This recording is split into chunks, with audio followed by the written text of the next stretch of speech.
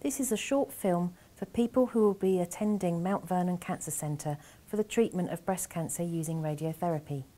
The aim of the film is to provide a short introduction to the Cancer Centre, to explain about radiotherapy, to describe what happens when you come for your planning appointment and your treatments, what side effects you may experience and how to look after your skin, to describe the support and information that is available at the Linda Jackson Macmillan Centre, and finally, who can you contact if you have any questions.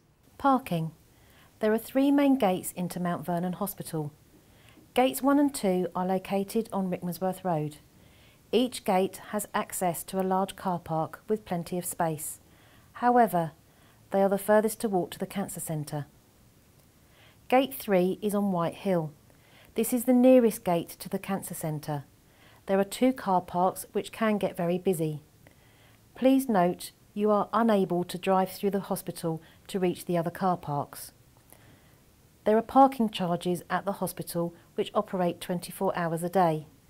The car parks are patrolled regularly by parking attendants who will issue parking tickets if your ticket isn't valid, not displayed correctly, or if you are not parked correctly within the lines of a parking bay.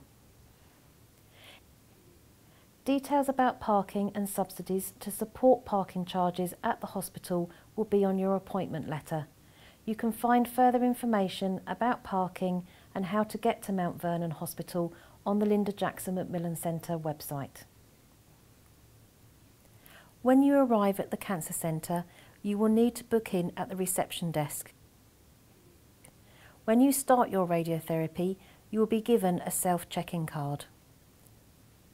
The check-in machine is opposite the reception desk. If you lose your card, please let the radiographers know and they will organise another one for you.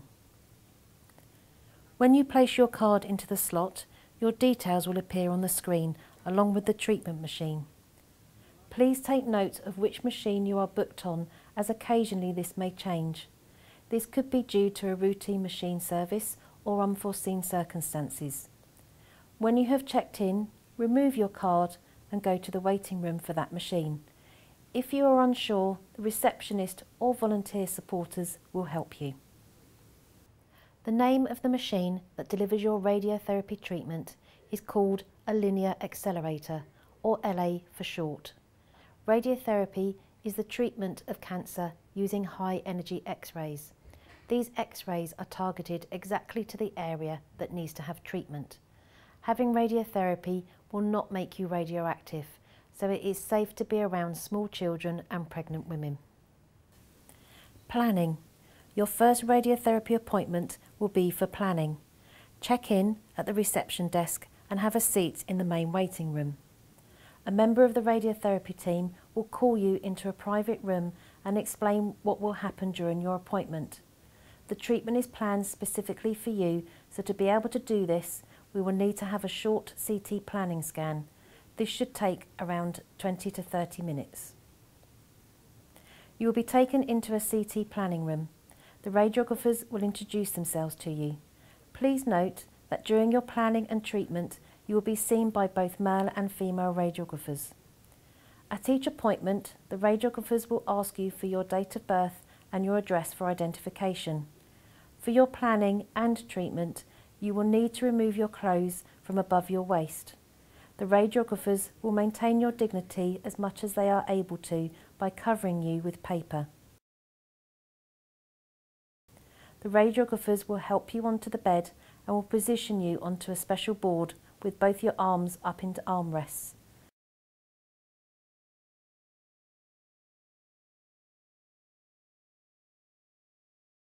Try and relax your arms so that the armrests are supporting you, otherwise you may find your arms will start to ache. This is the position you will be in when you have your radiotherapy, so please tell the radiographers if you are not comfortable. You may be in this position for up to 20 minutes. We advise you to continue with any arm exercises you were given after your surgery as this will help with your arm movement. When you are lying on the bed, the radiographers will be talking over you, calling out different information and taking lots of measurements. They will draw some marks on your skin with a pen and they will put some small markers onto your skin with tape. These markers show up on the CT scan.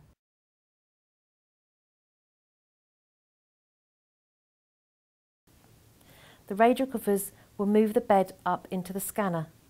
When they are ready, they will check you're okay, cover you with paper, and then they will leave the room.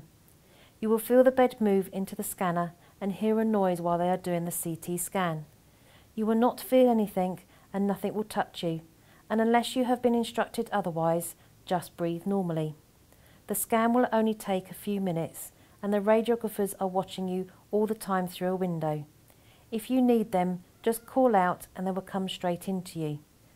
When the scan is finished, the radiographers will come back into the room. Please keep still until they say it is okay for you to move. The radiographers will give you three very small dark blue tattoos. These tattoos are used to ensure you're in the correct position each day for your treatment. They are permanent and very small, about the size of a pinhead. You will feel a tiny scratch when they are done. When the radiographers have finished, they will help you off the bed and you are free to get dressed. If you have any questions, please wait until after the scan. Before you leave, the radiographers will take a photo, which is then attached to your treatment information on the computer. This is one of the ways used to identify you. It is only kept with your records for radiotherapy and is not shared with anyone else. The radiotherapy is planned specifically for you. If appropriate for your treatment, the radiographers will discuss a special breath holding technique with you. You will be given your list of your appointments for your radiotherapy before you leave the department. Radiotherapy. Each day you come for your treatment, you will be asked for your date of birth and address to make sure we have the correct person. Please let the radiographers know if you have any worries or concerns when you come in for your treatment. On your first day, you will be asked to re-sign your consent form to confirm you are still happy to go ahead with your radiotherapy. You will also be asked about any allergies. Please bring a dressing gown or a zipped top with you so you can get changed in a changing cubicle just before you go into the treatment room. You will not have to sit in the waiting room in your dressing gown. If you do not have a dressing gown or suitable top, we can supply you with a hospital gown for you to use during your treatment. When you go into the treatment room, the radiographers will help you onto the bed and into the same position as you were when you had your planning scan. So you will be lying on the special board with your arms up in the armrests. When you are comfortable on the bed, the radiographers will dim the room lights and you will feel the bed being raised. You may see some green laser lights in the room. The radiographers will gently move you to align the lasers with the tattoos that you were given during your planning appointment. Try not to help the radiographers. Just relax and let them move you into the correct position. If they need you to move, they will ask you. When your tattoos are aligned, you are in the correct position for your radiotherapy. The radiographers will be talking over you, checking their measurements, and the machine will move around you but will not touch you. The first day usually takes a few minutes longer as the radiographers will be doing the extra checks and the measurements to ensure everything is correct. Although they use your tattoos for alignment, they will also draw some marks onto your skin with pen. These marks will wash off, but please don't scrub them as we don't want you to make your skin sore. When the radiographers have completed all their checks, they will make sure you're okay, cover you with some paper, turn the lights on and then leave the room. While the radiographers are outside the room, they are watching you all the time on the cameras and there is also an intercom system. In the unlikely event of a problem, just raise your hand and they can stop the machine and come into you. Your treatment will be restarted when you are ready to continue. If you need to cough or sneeze when the machine is on, just cough or sneeze into the air. Please do not move your hand to cover your face. After a cough or sneeze, you will normally relax back into the same position. However, if the radiographers feel that you may have moved they will stop the treatment and come in to check you're okay and still in the correct position. Radiotherapy is just like having a long x-ray taken. You don't see or feel anything. The machine will move around you but doesn't touch you. You will hear a buzzing noise when the machine is on.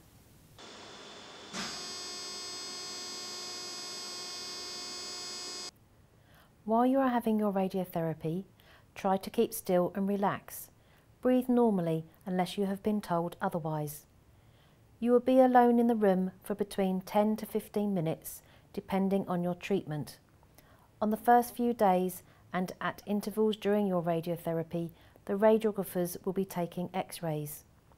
These are part of the ongoing checks that happen during the course of your treatment.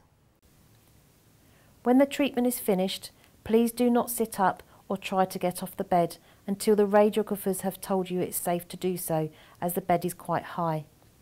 They will help you off the bed, you can then get dressed and go home. Some people may need to have boost treatments. Boost treatments are directed to the area where the lump originally was. You will be in the same position, however you will see the radiographers attach an applicator onto the head of the machine. This will come near you but will not touch you.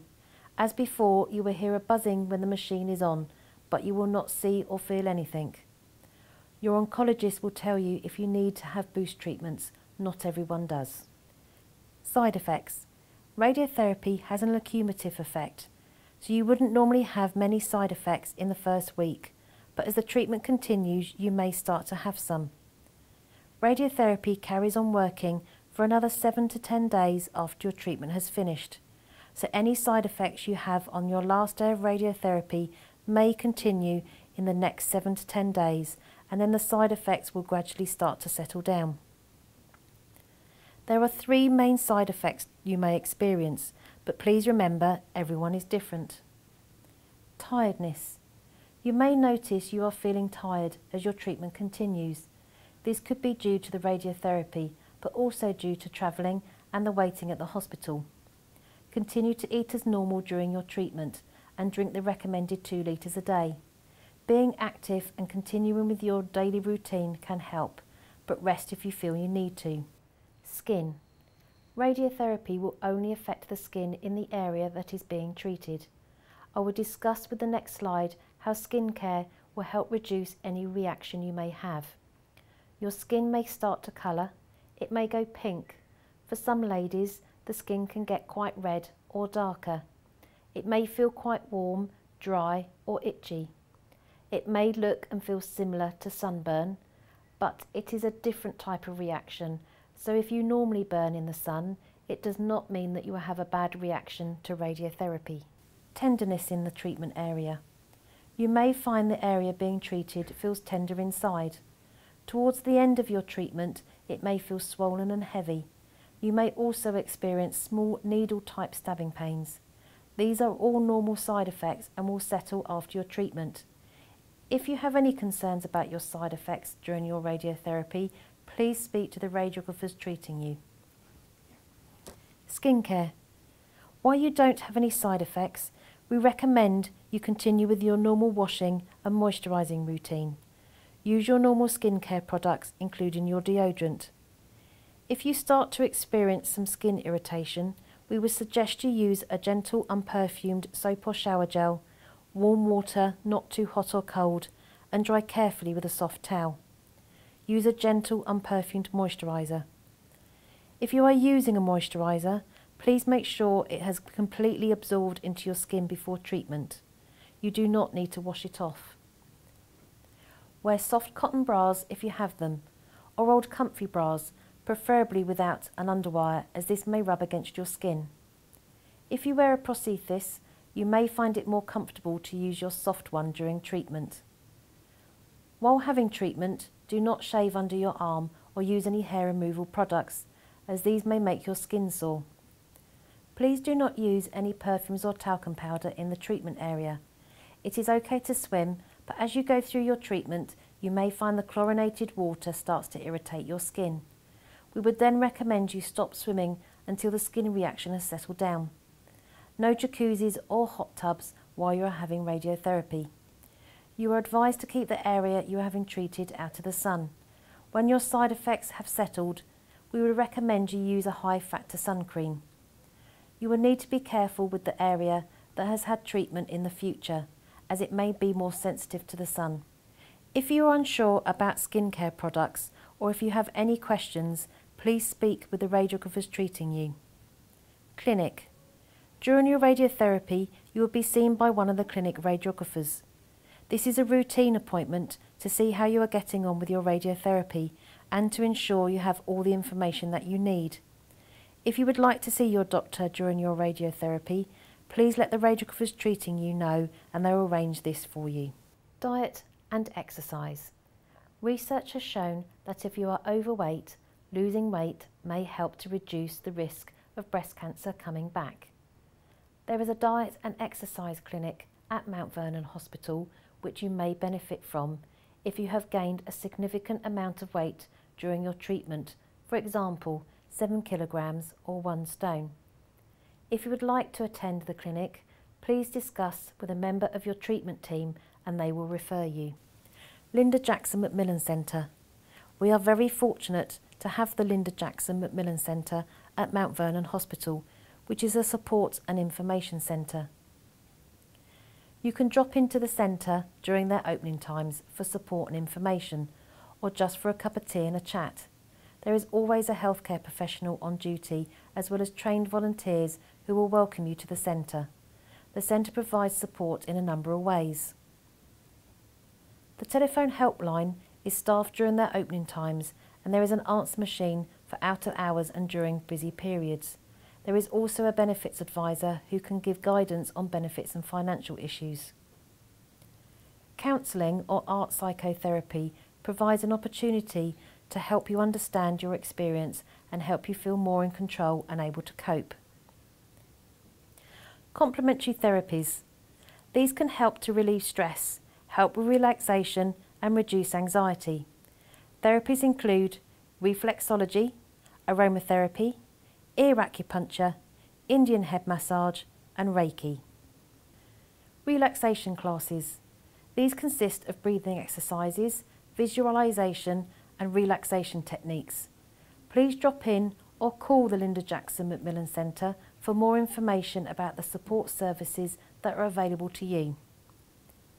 If you have any questions following this film, please contact the Linda Jackson Macmillan Centre on 020 3826 2555. They will be able to help you with any general questions or they will signpost you to the appropriate person. Thank you for watching our film. We hope you have found it useful.